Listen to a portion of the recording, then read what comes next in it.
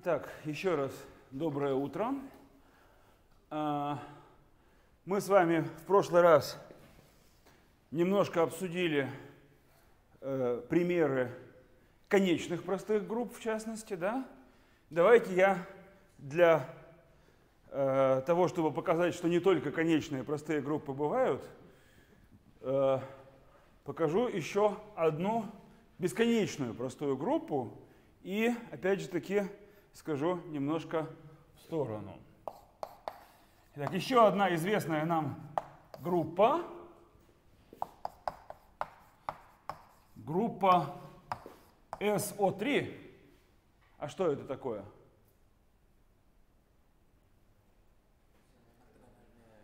Вот ортогональная группа – это О3, правильно? Группа всех ортогональных преобразований трехмерного пространства. А SO3 – это подгруппа всех ортогональных матриц с определителем 1. Так вот эта группа проста. Но давайте, прежде чем доказывать, все-таки вот немножко поговорим о том, что такое группа SO3. М? SO3 у нас всегда над R, правильно? Это же ортогональное преобразование. Они бывают... Еще раз, вот для этого я и говорю это замечание. Давайте мы вспомним, кто это такое. Да? Значит, это группа ортогональных матриц. Ортогональные матрицы у нас всегда над R. На самом деле бывает и не над R, но вот мы, у нас, для, для нас э, всегда мы работали над R, и когда здесь не написано ничего, то это над R и есть. То есть бывают аналоги этой группы над другими полями, но они называются по-другому. Значит, у нас сейчас группа ортогональных матриц 3 на 3 с определителем 1. В принципе, ортогональные матрицы могут иметь определитель плюс-минус 1. Вот это все ортогональные матрицы образуют группу О3, а здесь у нас это ортогональная матрица с определителем 1. Ну или, по-другому сказать, группа всех ортогональных преобразований значит, трехмерного евклидового пространства. Пока я написал, что такое О3, а чтобы сказать про SO3, мне нужно сказать сохраняющих ориентацию.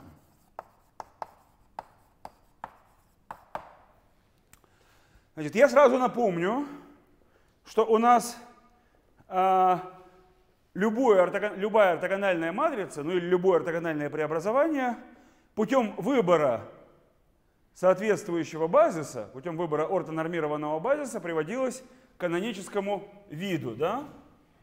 Если А лежит в SO3, то существует такая матрица перехода э, к ортонормированному базису, а значит она тоже лежит в O3.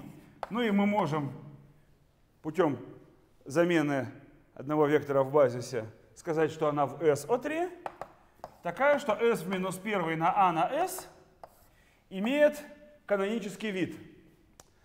Напоминаю, какой вид у нас канонический. В каноническом виде у нас по диагон... Э, был, этот канонический вид был блочно-диагональным, и там по диагонали стояли блоки из единиц, минус единиц и матриц 2 на 2, матриц вращения, правильно?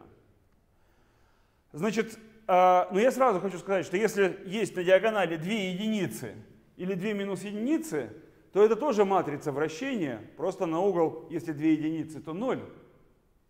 А если на угол, э, а если две минус единицы, то на π, правильно? Поэтому в любом случае мы можем сказать, что здесь стоит блок косинус альфа, синус альфа, минус синус альфа, косинус альфа. Две одинаковых, два одинаковых, две единицы или две минус единицы у нас найдется, если у нас там три плюс-минус единицы. А поскольку наша матрица из SO3, определитель вот этой вот подматрицы равен единице, то вот здесь вот дополнительный элемент будет именно что единицей. То есть любая матрица из SO3 приводится вот к такому виду, ну, по сути дела, заменой базиса. А, и это матрица вращения. Вот здесь у нас есть собственный вектор, и вокруг него, собственно говоря, и происходит вращение. Правильно?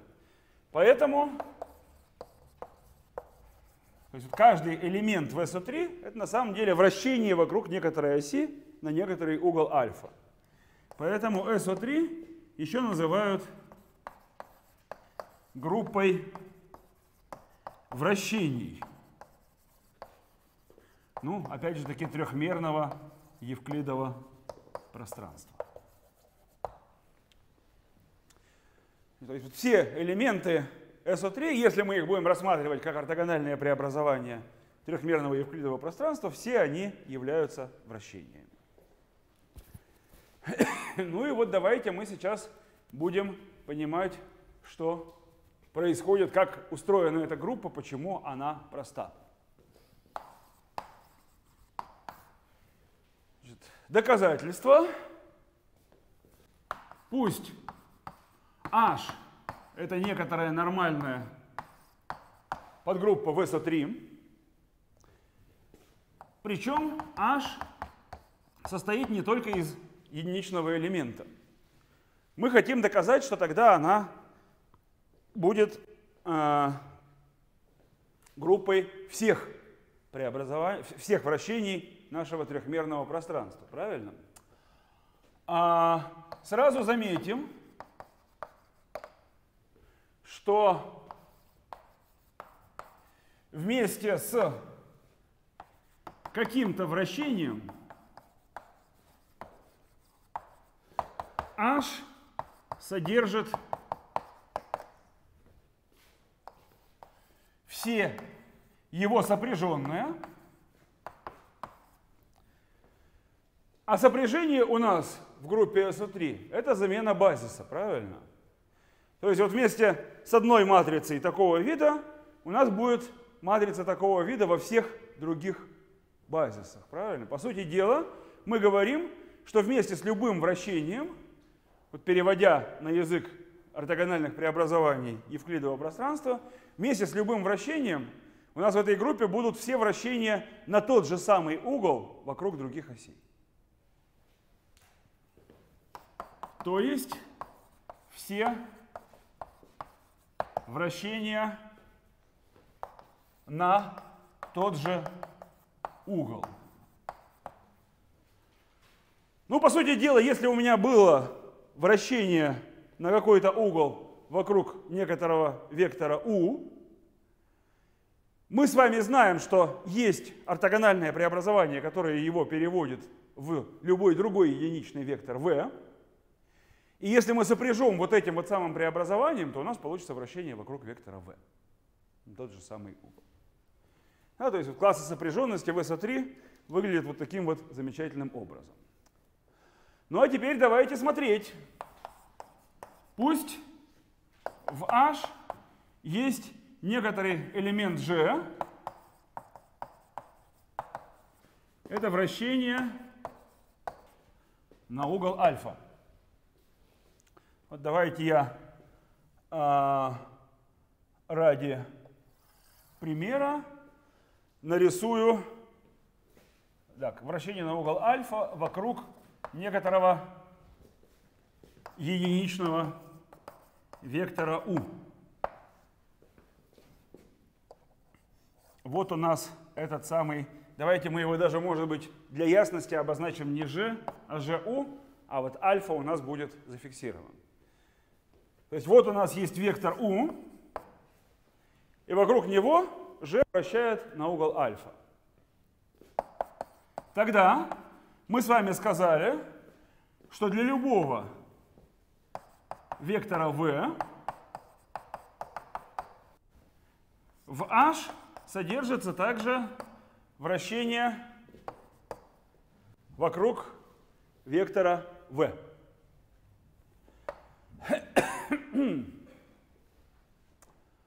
А, давайте мы рассмотрим э, такой новый элемент h от v. Это gv GU в минус первый. U у нас фиксирован, а V меняется. Значит, при каждом векторе V, вот это вот h от V, это есть поворот на какой-то угол, правильно? Тогда h от V это поворот на некоторый угол ну, давайте вот я его обозначу от v. А, при этом, если я подставлю в качестве v вектор u, то что у нас получится? М? Да ладно, я же тут в минус первый пишу. Фи от u, вот этот вот угол, если я подставлю в качестве вектор u, это будет 0. Ну и понятно, что если я возьму какой-то другой вектор v, скажем, неколинеарный u, фи то у нас нуля, естественно, не получится. У нас не будет тождественного преобразования. Да? Фи от v не равно нулю при v неколинеарном u. И, наконец, а, давайте я замечу, что φ от v – это непрерывная функция вектора v. Кроме того, φ от v непрерывно зависит от v. Давайте я объясню это. Почему это так? Вот если мы интерпретируем h от v как матрицу 3 на 3, она-то уж точно будет непрерывно зависеть от v, правильно? h от v, вот элементы этой матрицы h от v, непрерывно зависят от v. Тогда коэффициенты его характеристического многочлена будут непрерывно зависеть от v. Ну а мы с вами знаем, у нас в прошлом семестре даже такая задача была в задании, что, ну по сути дела, по характеристическому многочлену мы угол φ от v восстанавливаем, правильно? Хотя бы в терминах следа нашей матрицы, да? косинус фи равный косинус фи от v, это не что иное, как ну вот след нашей матрицы это 1 плюс 2 косинуса фи от v, правильно? Значит, это след нашей матрицы минус 1 пополам. И он тоже непрерывно зависит от ну, значит, и угол зависит от v непрерывно. Значит, видите, что у нас получилось? У нас получилось, что этот вот φ от u э, принимает какие-то значения, иногда он 0, а чаще всего он не 0. Он непрерывен. Это означает, ну просто по теореме о промежуточном значении, что φ от v принимает все значения в некотором интервале, ну даже отрезке я могу сказать от 0 до эпсилон. При некотором эпсилон больше нуля. Ну что это означает? Это означает, что в нашей группе H вот все вот эти элементы, они же лежат в H, правильно? В нашей подгруппе H есть вращение на любой угол от нуля до эпсилон. Но значит, беря их композиции, мы можем, ну, понятное дело, что раз есть такие вращения, значит, а, каждое из таких вращений есть вокруг любой оси. Это мы с вами уже говорили, правильно? Значит, давайте мы добавим вокруг любых осей. Ну, теперь, беря эти вращения, ну, то есть применяя два таких вращения, мы уже получим любое вращение на угол от 0 до 2 эпсилон, правильно? 3 на угол от 0 до 3 эпсилон и так далее. То есть, значит, в H есть и все вращения. Ну, то есть H совпадает как раз с SO3, все вращения и образуют группу SO3.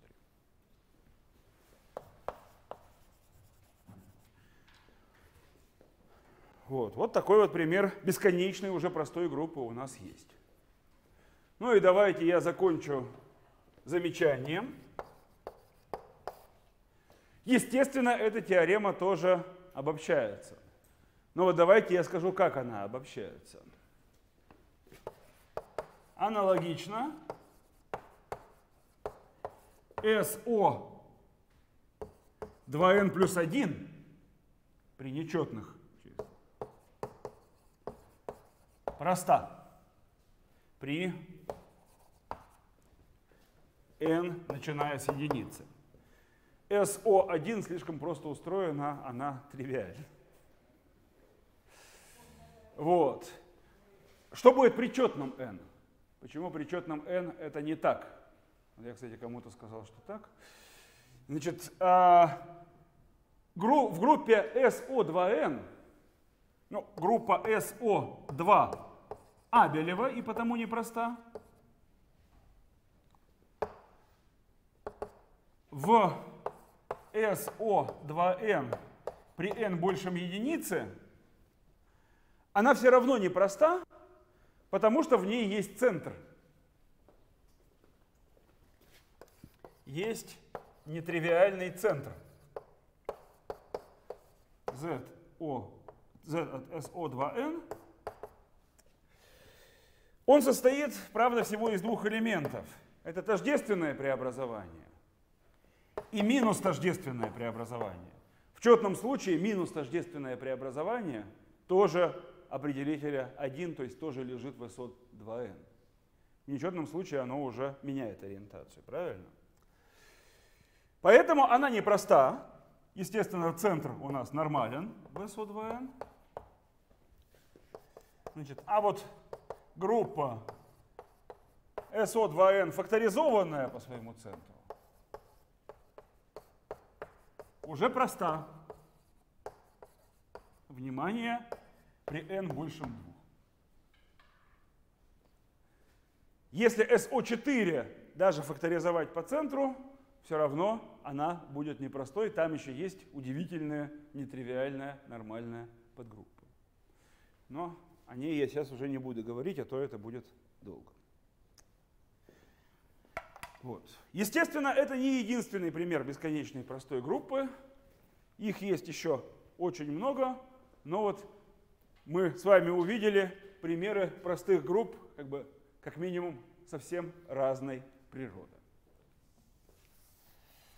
Так, ну вот я еще раз повторю, что даже конечные простые группы, хоть они и полностью охарактеризованы, все равно образуют какое-то очень огромное множество разных групп.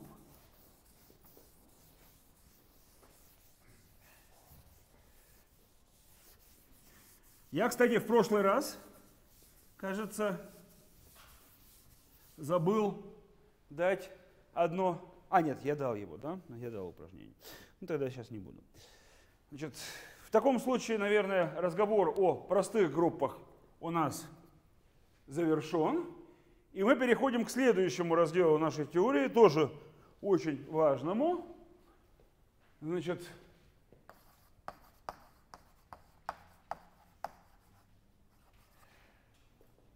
образующие и определяющие соотношения.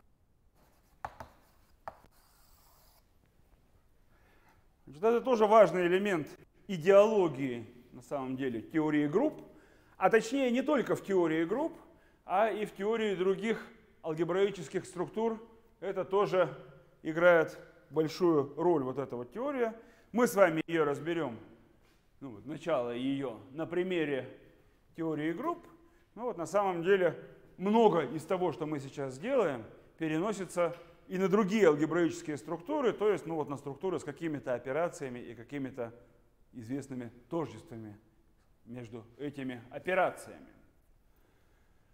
Значит, в чем состоит идеология, в чем состоит э, то, чего мы хотим добиться? Вот представьте себе, что у нас есть группа, порожденная несколькими образующими, G1, там, G2 и так далее, GK. Если у нас есть две группы с таким количеством образующих, не факт, что они изоморфны, они могут быть совсем разными, правильно? Почему они могут быть разными? Потому что между этими образующими есть некоторое соотношение. Например, если вы возьмете какую-нибудь абелеву группу, то все ее образующие будут коммутировать друг с другом. x, y равно y, x для любых двух таких образующих, правильно? Могут встречаться и другие соотношения между ними, гораздо более сложные. И вот а, мы сейчас собираемся понять, что это, э, каким образом группу можно вот, подобными данными задать. То есть что это означает? Сказать, что такое группа, порожденная несколькими элементами, G1 и так далее, GK, на которые еще наложены некоторые соотношения. Ну вот, например, если мы хотим сказать, что это абелева группа, то мы накладываем соотношение, что жиитое, жижитое, ну, что коммутатор, по сути дела, этих элементов равен e, правильно? Значит, вот общая идеология, которую мы сейчас будем постепенно усваивать. Э, мы хотим сделать вот это, но для начала нам нужно разобраться, что означает что в группе соотношений нету. То есть как взять группу, порожденную несколькими элементами, между которыми соотношений нет вообще. Никаких нетривиальных соотношений между ними нет. И такая группа называется свободной группой. Итак, я даю определение, пока что формальное, но мы сейчас с ним разберемся, почему оно означает именно то, что я сказал. Итак, свободная группа с n свободными образующими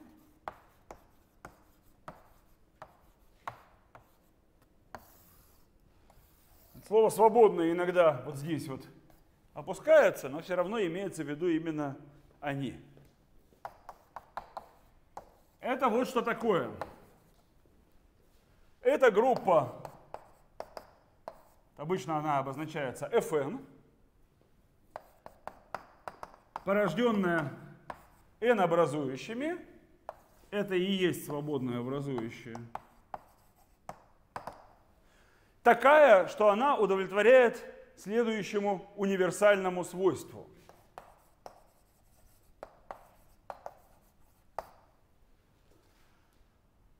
а, свойство такое. Какую бы я взял, какую бы я не взял группу, для любой группы G, и для любых элементов G1 и так далее, Gn из G, различных, совпадающих, неважно. Существует гомоморфизм из Fn в G, такой, что он эти f-иты переводит в g-иты. Влияет на вот это. Если группа, порожденная n элементами f1 и далее fn, обладает вот таким вот универсальным свойством, то она называется свободной группой, а вот эти вот элементы называются ее свободными образующими. Что это значит? Вот давайте мы разберемся, почему я сказал ровно вот это. Ну, глядите, у нас есть в группе Fn некоторые элементы F1 и так далее Fn. В группе G есть какие-то элементы G1 и так далее Gn. И вот эти вот f мы умеем гомоморфно отображать на g, правильно? Мы умеем придумывать гомоморфизм, который эти f переводит в именно эти g. Если в группе G есть какое-то соотношение между этими элементами, если мы можем написать там произведение какое-нибудь, G1, G2, G3, G1 в минус 1, э, нет, извините, если в группе Fn у нас есть какое-то соотношение, наоборот, между вот этими элементами f1 и так далее, fn, если мы можем написать какое-то выражение от них, которое в этой группе равно e, то его образ тоже будет равен e, правильно? Если мы буквы f заменим на g, то его образ тоже будет равен e. То есть это же соотношение выполняется в любой группе для любых элементов g1 и так далее, gn, правильно? То есть как бы на элементы f1 и так далее fn у нас должно быть так мало возможных соотношений, так мало соотношений, как только возможно. Вот это вот говорит нам существование такого гомоморфизма. То есть действительно эта группа с минимальным набором соотношений, то есть, по сути дела без соотношений. Все, которые существуют, вытекают просто из аксиом группы. Вот так вот можно эту группу воспринимать. Ну, естественно, вот из этого определения, в принципе, не следует, что такая группа вообще есть. И поэтому первым делом мы с вами сегодня ее построим. Ну, давайте я сделаю сначала пару замечаний, может быть, даже не пару, а побольше. Замечание первое. Ну, естественно, такой фи, как у нас здесь написано – единственен. Глядите, мы, вот если такой гомоморфизм вообще существует, да, мы его задаем, мы говорим, какие образы будут у порождающих элементов группы Fn. То есть, по сути дела, на каждом элементе группы Fn мы его задали уже однозначно, правильно? Если такой гомоморфизм уж есть, то он единственен, вот, значит, группа, свободная группа выделяется тем, что такой э, гомоморфизм уже есть. И второе замечание, которое показывает как бы силу этой свободной группы. Если в нашем определении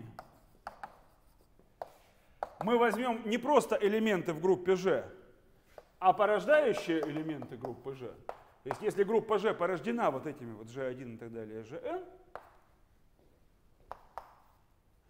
то этот φ будет переводить группу Fn во всю группу G, правильно? В G1 и так далее Gn что-то перейдет, а значит и во всю подгруппу, порожденную ими. В каждый ее элемент перейдет. То образ φ это будет G, ну а значит он будет изоморфен фактор группе Fn по ядру φ по основной теореме о гомоморфизмах. То есть, что такое свободная группа на n, с n образующими? Ее фактор группы с точностью до изоморфизма – это все n порожденные группы вообще. Любая группа, порожденная n элементами, является ну, изоморфна ее фактор группе, правильно? Вот настолько вот мощной должна быть свободная группа.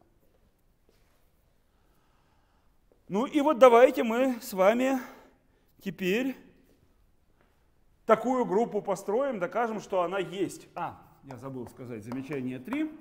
Значит, мы с вами дали это определение для конечного набора образующих, просто ну, для простоты изложения. Естественно, э, такое же определение можно дать и для бесконечного набора образующих, для набора образующих любой мощности. И построение будет аналогичным, такая свободная группа все равно будет существовать, она строится так же. Аналогичное определение, ну и построение, которое у нас сейчас будет, э, дается и для набора образующих любой мощности.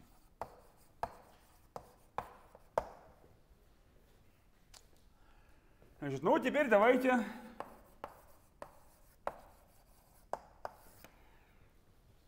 а, построим нашу свободную группу. Докажем, что она существует. Ну а потом и что она единственная.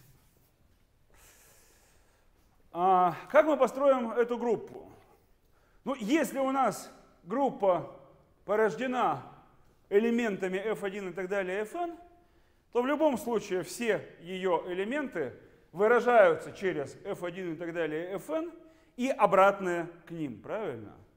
Ну вот в этом и состоит идеология построения. Давайте мы скажем, что у нас есть алфавит, обозначим его через x, он будет состоять из 2n букв.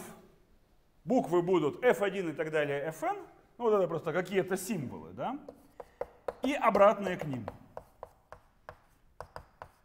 Вот такие вот 2n символов мы будем использовать. Да? И будем говорить, что слово в алфавите x, ну то есть просто последовательность букв этого алфавита, конечная, да, мы рассматриваем конечные слова, естественно, называется несократимым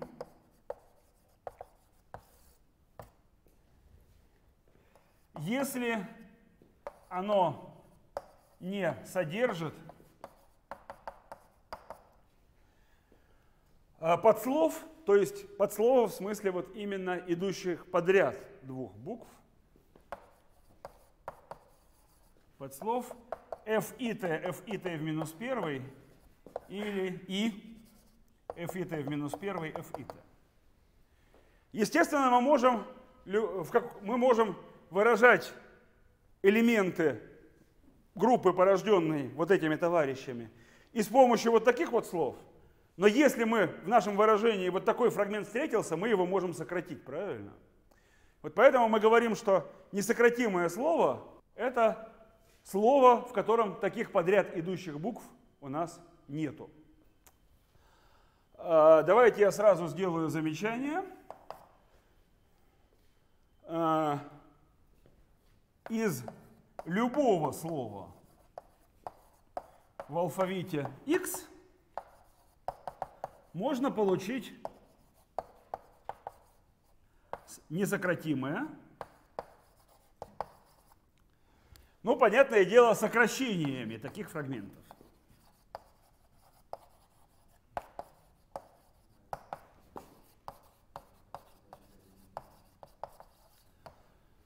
Хотя бы одно несократимое мы можем получить. Просто если есть такой фрагмент, то мы его сокращаем и движемся дальше. Правильно?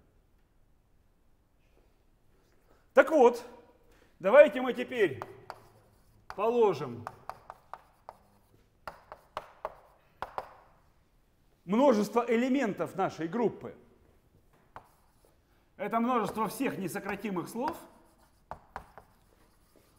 Обратите, пожалуйста, внимание, что одно из слов у нас, естественно, пустое из нуля букв, правильно? И оно, естественно, тоже несократимое. И определим операцию следующим образом. Если у нас есть два несократимых слова, то как вы думаете, что такое будет их произведение? Правильно. После того, как мы их припишем друг другу, у нас могут возникнуть пары противоположных символов, пара взаимно обратных символов. Где они могут возникнуть? Только на стыке этих слов, правильно? Так вот, давайте мы на стыке этих слов противоположные символы, только там они и могут появиться, сократим, да? Значит, вот я нарисую черту, да? Черту, черта обозначает сокращение ну вот, подслов вида АА в минус первый на стыке. Обратите, пожалуйста, внимание, что таких сокращений может быть в принципе и много. Мы первую пару взаимно обратных символов сократили. У нас может возникнуть снова новая пара взаимно обратных, правильно? Нам ее тоже нужно сокращать и так далее. Но в любом случае, поскольку позиция, в которой появляются вот эти вот взаимно обратные символы, только одна на стыке наших слов, то понятное дело, что вот такое сокращение однозначно определено, мы рано или поздно придем к несократимому слову. Вот я здесь хочу обратить внимание, что из любого слова мы можем получить несократимое, правильно, такими сокращениями. Но мы пока не знаем, что такое, в принципе, это можно делать разными способами.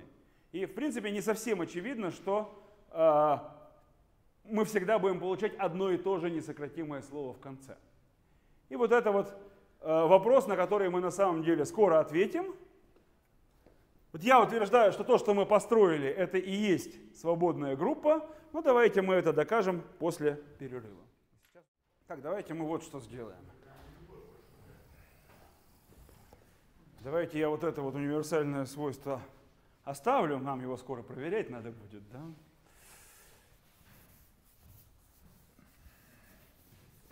Пока стирать не буду. Итак, ну вот я утверждаю, Давайте я даже скажу теорема.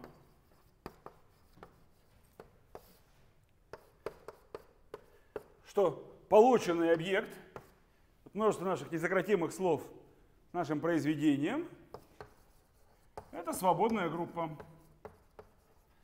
с свободными образующими, естественно, f1 и так далее, fn.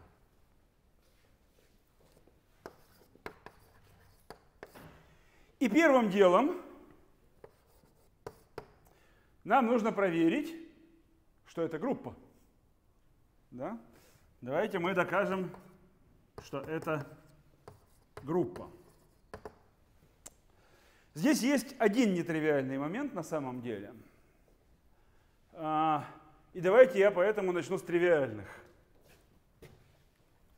Давайте я начну с пунктов B и V, а потом скажу пункт А. Пункт Б. Нейтральный элемент. Кто у нас будет нейтральным элементом в такой группе, определенной вот подобным образом? Пустое слово, конечно, да? Пустое слово. Как вы его уже привыкли наверняка обозначать? Эпсилон? Значит, будет эпсилон. Пункт В. Обратный элемент тоже вычисляется тривиально. Если у нас есть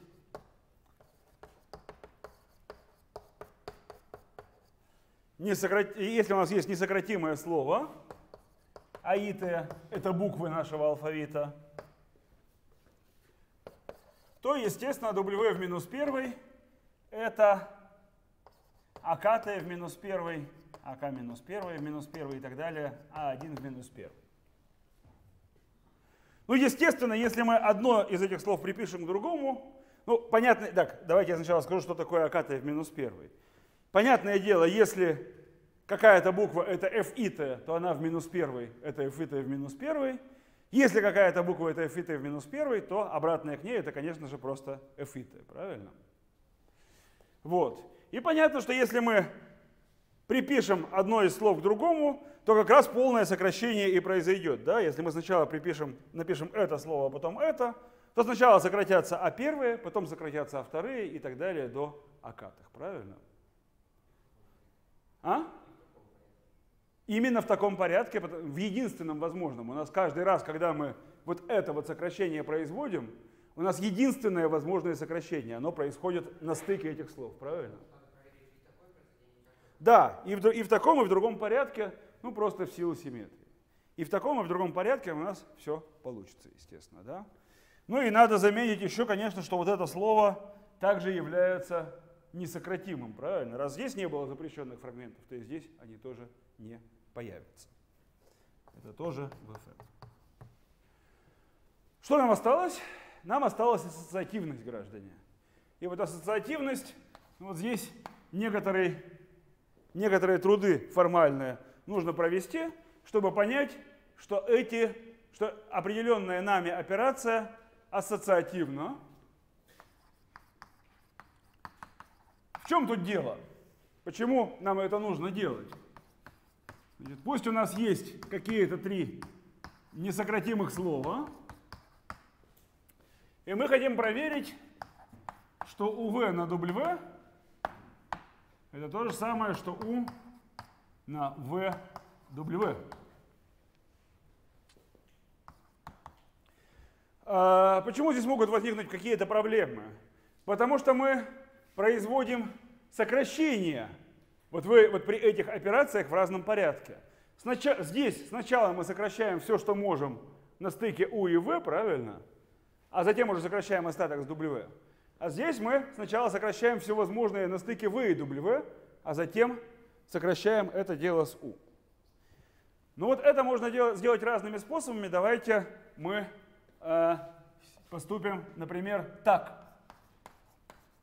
Пусть э, на стыке у, В, если мы будем перемножать У и В, значит, сокращается слово П. Ну, то есть, что это значит? У – это У' на П, а В – это P в минус первый. Вот мы уже знаем, что такое слово P в минус первый, правильно? P в минус первый на V штрих – вот когда мы у к v приписали, p с p в минус 1 сократилось, а дальше сокращение уже не происходит. То есть последняя буква у штрих и первая буква v штрих не, не обратны друг к другу. Правильно? А на стыке v на w сокращается слово q. То есть, опять же таки, v это v уже два штриха на q, а w это q в минус 1 на w штрих. Ну, с теми же самыми условиями. v два штриха, w штрих уже не сокращаются, правильно? Ну, то есть, иначе говоря, давайте мы так скажем, что u на v это на самом деле вот просто слово u штрих, v штрих, конкатенация этих слов, правильно? А v на w это конкатенация слов v2 штриха и w штрих. Ну и давайте мы а, разберем несколько случаев. Можно было разобрать два, но я для ясности разберу три, чтобы вот показать, где какие ситуации могут возникнуть. Значит, случай первый. Ну вот давайте посмотрим, как эти слова p в минус 1 и q расположены в слове v. Вот у нас слово v. Вот у нас p в минус 1 это некоторый его префикс. Вот у нас q это некоторый его суффикс. И давайте мы предположим, что между ними еще есть хотя бы один символ. То вот V выглядит вот таким вот образом, R не пустое слово.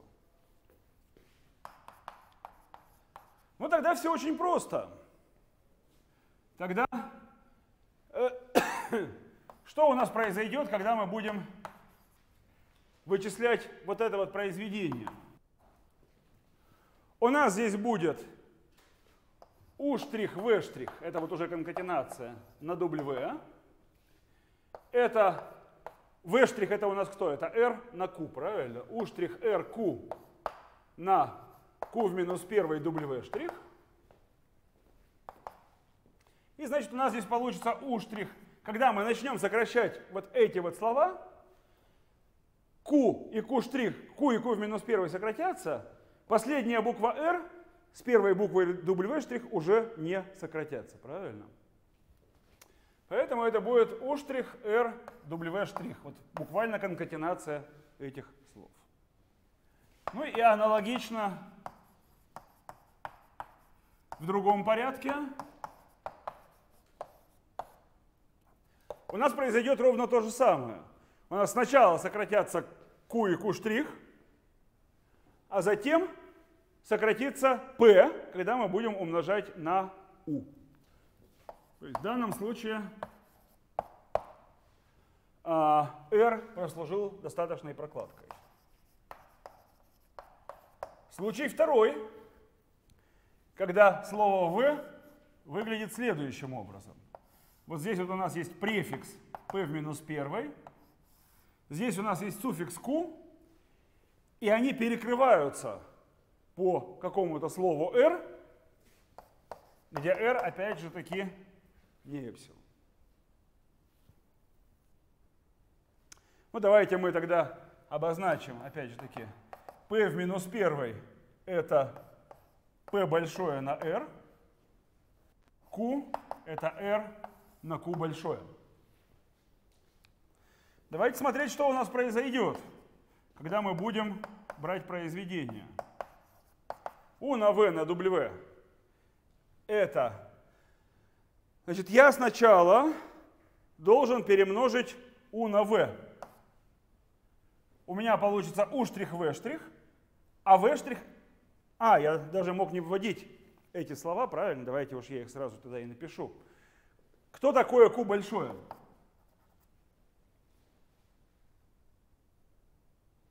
Глядите.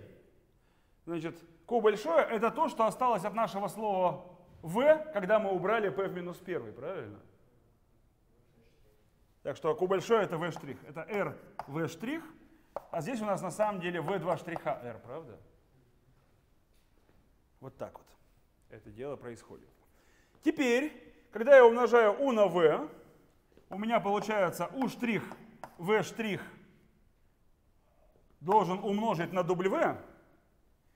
И вот давайте мы поймем, что такое w. w это у нас q в минус 1 на w штрих, а q в минус 1 это v штрих в минус 1 на r в минус 1, правильно? И на w штрих. И вот, значит, в этих словах мы собираемся производить сокращение. Вот на этом вот стыке, правильно? Только на этом стыке у нас могут происходить сокращения. Я утверждаю, что результат у нас получится. Это u' на r в минус 1 на W штрих. Глядите, до этого места мы точно дойдем. V сократится с V в минус 1, правильно? А дальше уже ничего не сократится. Потому что U штрих на R в минус 1 это префикс слова U.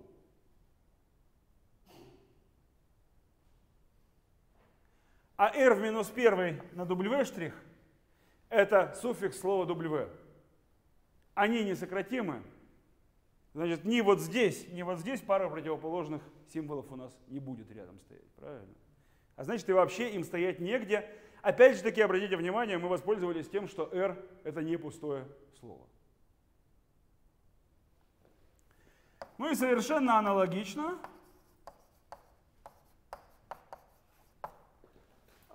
U на V на W это тоже будет u на r в минус 1 на w штрих.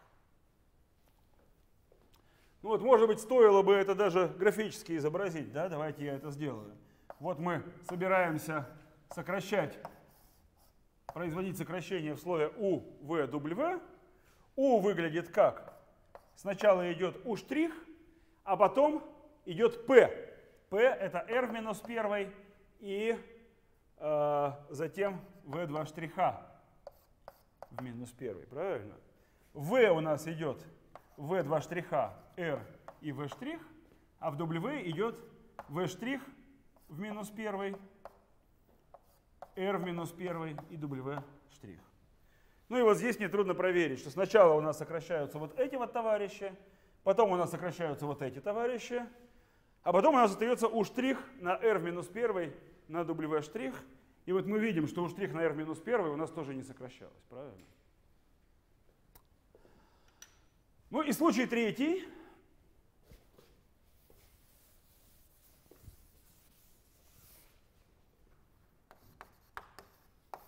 Когда P в минус 1 и Q в точности стыкуются. То есть V это первый P в минус 1 Q, V штрих это, собственно говоря, и есть Q, а V2 штриха это, собственно говоря, и есть P в минус 1. И вот здесь глядите, что происходит. U на V на W это есть. Значит, я U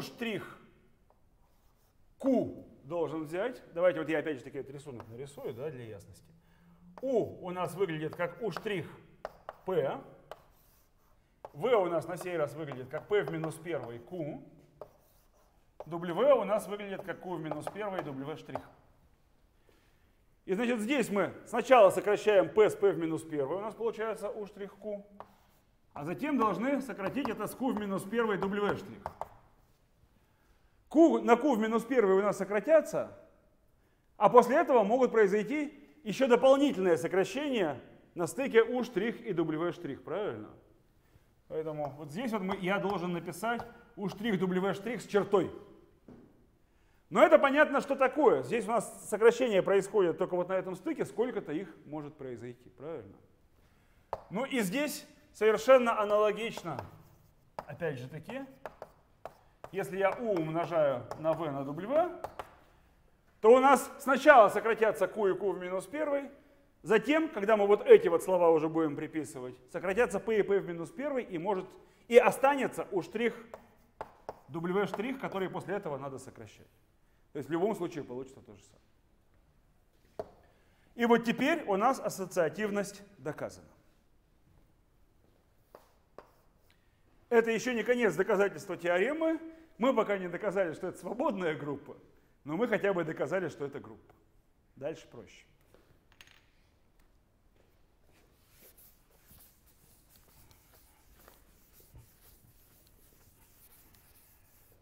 Значит, для того, чтобы доказать, что это свободная группа, нам нужно предъявить этот гомоморфизм.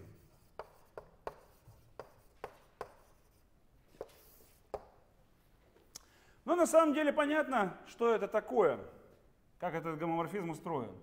Значит, давайте мы сразу для любых произвольных элементов произвольной группы G и для любого элемента, вот давайте я так напишу, для любого элемента нашей группы Fn, который выглядит как, ну вот здесь нам придется опять же таки формализм навести, f и первое в степени альфа первое f и второе в степени альфа второе, f и катая в степени альфа катая. Вот такое слово у нас есть. Ну, все альфа это плюс-минус единицы, да? Давайте мы назовем, обозначим через v, w от g1 и так далее, gn. Просто то, что получится, если я здесь все буковки f заменю на g.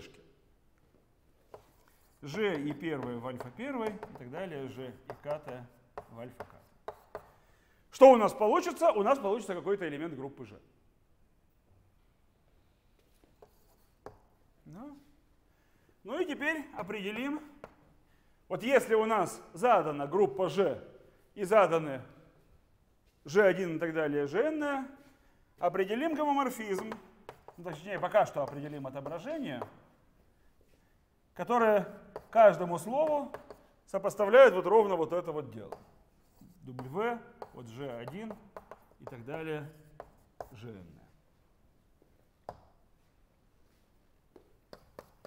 Тогда, естественно, φ от f итого равно g итому, просто по определению, правильно?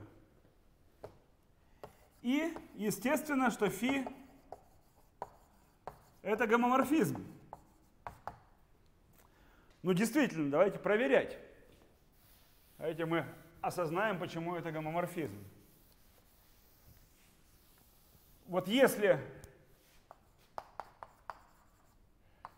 мы взяли два слова W1 и W2, и, и перемножив их, получили какое-то слово W,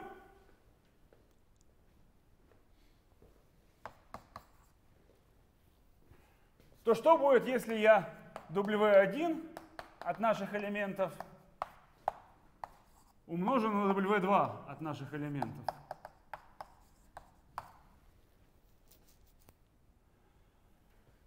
Это уже два элемента группы G, правильно? Ну, у нас мы просто запишем эти произведения подряд – ну и после этого, если в наших словах на стыке происходили какие-то сокращения, f итого с f в минус 1, правильно? То вот в этом нашем формальном выражении будет сокращение жиитых с жиитами в минус 1, правильно? Такие сокращения мы тоже можем сделать, они значение вот этого вот группового элемента не меняют. Поэтому действительно мы получим в результате после этих сокращений тот же самый элемент W от G1 и так далее. То есть мы предъявили гомоморфизм, удовлетворяющий нашим свойствам. И значит построенная группа действительно свободна.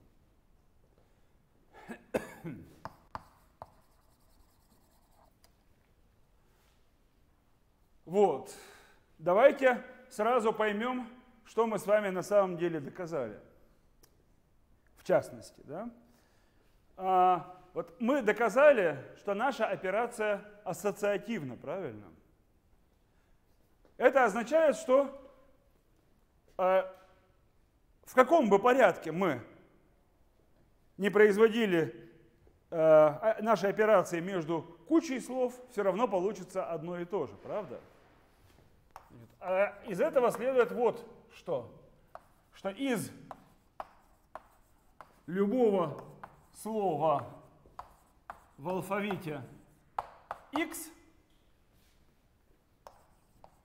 сокращениями получается единственное несократимое слово. Как бы мы наши сокращения не производили, в результате все равно получится одно и то же несократимое слово. Почему это так? Вот если мы возьмем любое слово в алфавите X, это мы можем воспринять его как элемент нашей свободной группы, как произведение вот этих вот букв, правильно? Ну и он, и это просто какой-то элемент нашей свободной группы, правильно? То есть какое-то несократимое слово. Вот оно всегда и получится, потому что произведение вот этих вот сокращений это, по сути дела, означает, что мы перемножаем буквы, стоящие, противоположные буквы, стоящие рядом. Правильно? Результат операции не зависит от порядка этих сокращений. Поэтому это слово всегда у нас и получится. Так. Э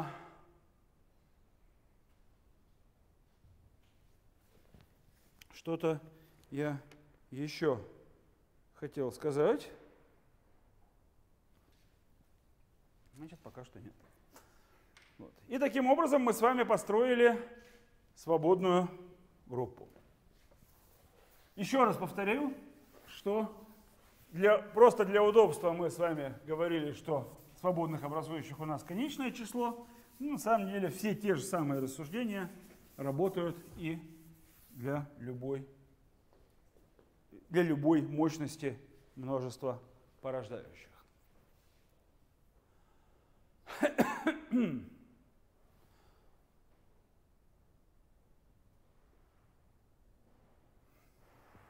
Давайте двигаться дальше. Значит, еще одно полезное утверждение. Мы с вами построили э, свободную группу свободными образующими, но как-то не очень понятно, а может быть их много есть разных, правильно? Мы построили одну из них, может быть есть еще другие. На самом деле нет. А, пусть f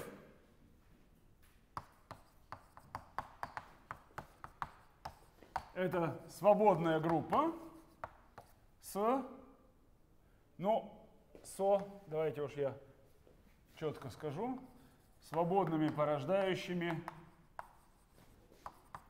f1 и так далее fn. И пусть g это тоже свободная группа со свободными порождающими g1 и так далее gn. Тогда, ну давайте лучше fn и gn напишем, да? Тогда fn изоморфно gn. Более того, ну, существует изоморфизм, который f как раз переводит в g Иначе говоря, любые две свободные группы с одним и тем же количеством свободных порождающих изоморфны, но при этом вот изоморфны ровно в таком смысле, что свободные порождающие переходят при изоморфизме в свободные порождающие другой. А, доказательство на самом деле очень простое, это просто ну, стандартное свойство подобного универсального свойства. Давайте смотреть. Поскольку Fn свободная группа, мы с вами знаем, что существует гомоморфизм φ из fn, из fn в gn такой, что φ от f равно g при каждом i. f свободные порождающие, они по универсальному свойству умеют переходить в любые элементы любой группы, в частности v. Поскольку gn это свободная группа, у нас существует гомоморфизм пси уже в обратную сторону, такой, который g и t, свободное порождающее, переводит в f и t. Что тогда такое композиция этих двух гомоморфизмов? Это уже будет гомоморфизм из gn в gn. Это гомоморфизм, который, более того, переводит жииты сначала в эфиты, а потом обратно в жииты. То есть переводит наши порождающие свободные в себя. Но это значит, что эта композиция, раз она тождественно действует на образующих, то она тождественно действует на всей группе, правильно, на любом произведении их и их обратных. То есть и эта композиция – это тождественный гомоморфизм на GN. Аналогично композиция в обратном порядке. Это тождественный автоморфизм да, fn. Ну а значит, что пси это фи в минус 1. Таким образом, и фи, фи и пси это требуемые изоморфизмы, правильно? Изоморфизм из fn в gn и обратно, переводящий образующий в образующее. Ну, можно сказать, что просто фи требуемый изоморфизм. Раз у него есть обратный, то он изоморфизм. Вот. Ну, таким образом, свободная группа одна с точностью до изоморфизма. Вот мы предъявили ее описание.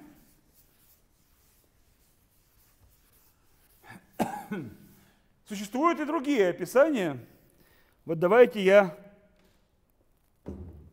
а, в качестве примера скажу, в качестве тривиального примера, скажу, что свободная группа с одной образующей изоморфна, как вы думаете, чему?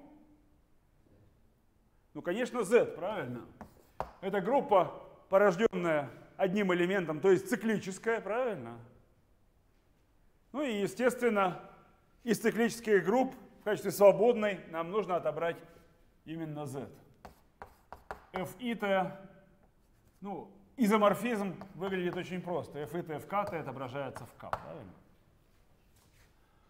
Вот, давайте мы сразу заметим, что Fn при n больше или равном 2 устроены уже гораздо хуже. В частности, она не Абелева. Почему она не Абелева? Хотя бы, ну, можно сказать по построению. Но я не хочу сказать по построению. Я хочу сказать, что она... Я хочу вот предъявить пример рассуждения, у которого есть много обобщений. Да? Вот глядите, почему я точно могу сказать, что при n больше или равном 2 fn не Абелева. Мы с вами знаем, что существуют не Абелевы группы, правильно?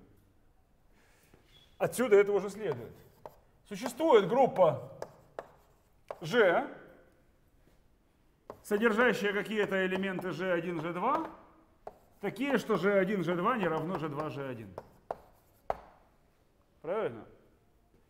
Тогда по универсальному свойству существует гомоморфизм из fn в g, который f it переводит в g it. Правильно? Но раз вот эти вот два товарища разные элементы, в них должны переходить разные элементы свободной группы, правильно? Значит, f1 и f2 не равно f2 f1.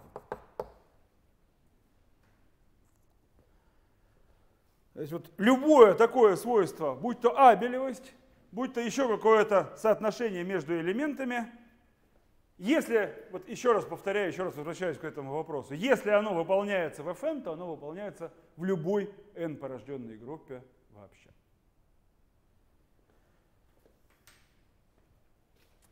Вот. В качестве упражнения, непростого, сразу хочу сказать, но желающие могут, например, понять, что группу F2 мы тоже можем реализовать любопытным способом. Это будет изоморф подгруппе, порожденной следующими двумя элементами. Ну, скажем, в группе Давайте я напишу GL2. А, значит, в группе GL2 от Z, от, ну пусть будет Q для большей привычности, от X. X, ой, извините, здесь тоже, конечно, X. X это переменная. Q от X это множество, это поле рациональных функций от X. И вот в этом вот, и вот над этим полем мы берем две вот таких вот матрицы. Ну, кстати, они лежат в SL2, поэтому мы можем сказать, что здесь тоже написано SL2. Правильно? Вот, вот оказывается, две таких матрицы порождают свободную группу, они могут служить свободными, образующими свободные группы на двух элементах. Вот, так что свободная группа допускает много а, разных определений, ну, есть много разных реализаций, да? Но, как мы только что сказали, все они изоморфны. Вот какое замечание я забыл сказать, но давайте я его скажу сейчас. Вот у нас в доказательстве появилось вот такое вот обозначение, правильно? Для слова W из Fn, для элементов G1 и так далее – gn из g, мы определили, что такое w от g1 и так далее gn. Так вот, оно называется вполне естественно значением слова w на элементах g1 и так далее gn.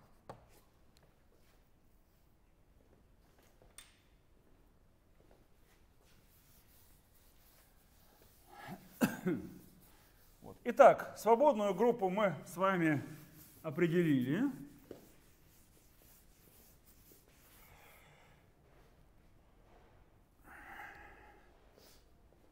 Могу определить следующее понятие, которое нам очень сильно поможет. Но давайте я все-таки перед этим э, скажу еще пару замечаний. Что остается за рамками наших лекций, чего я сейчас доказывать не буду. У свободной группы есть много э, интересных свойств, свойств, на которые сейчас мы, к сожалению, не сможем тратить время. Давайте я приведу два подобных свойства. Значит, ну давайте, вот замечание, да, раз без доказательства. Во-первых, есть замечательная теорема Нильсона Шрайера,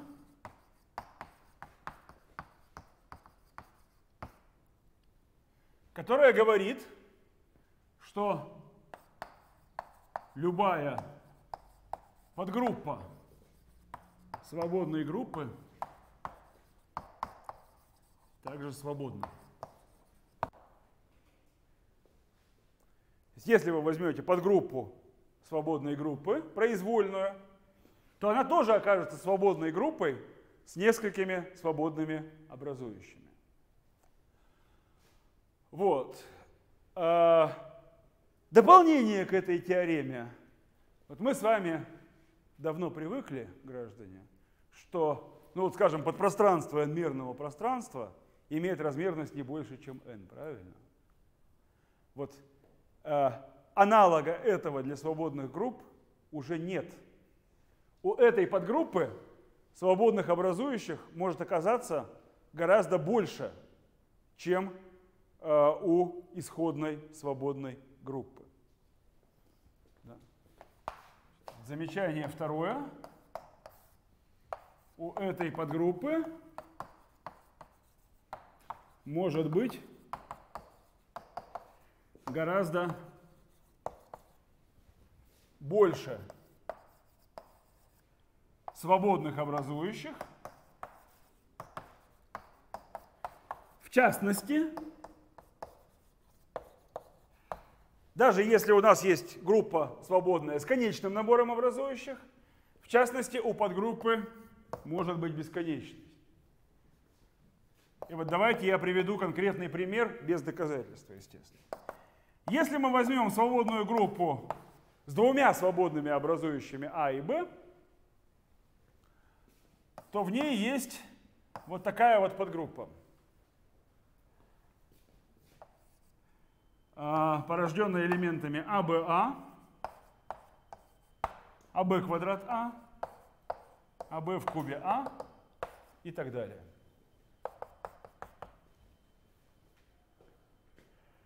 Значит, в качестве самостоятельного упражнения я предлагаю сказать, я предлагаю всем желающим доказать, что H это свободная группа с бесконечным количеством свободных образующих, а именно вот именно этими образующими.